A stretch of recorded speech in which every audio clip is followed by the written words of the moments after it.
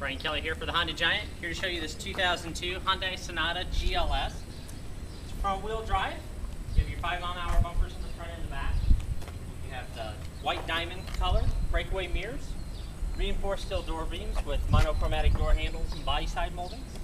You have your rear window defrosts, high mount brake light. Lots of room in the trunk. You also have the 60-40 fold down seats in the back if you need additional space. Seating for up to five.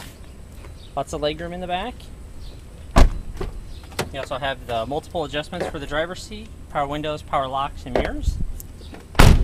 That's to see the free Carfax report and mechanical inspection sheet. On the interior, you have your driver and passenger side airbag along with side impact airbags.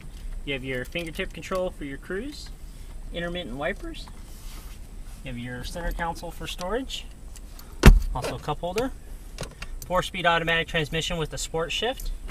You have your power outlet.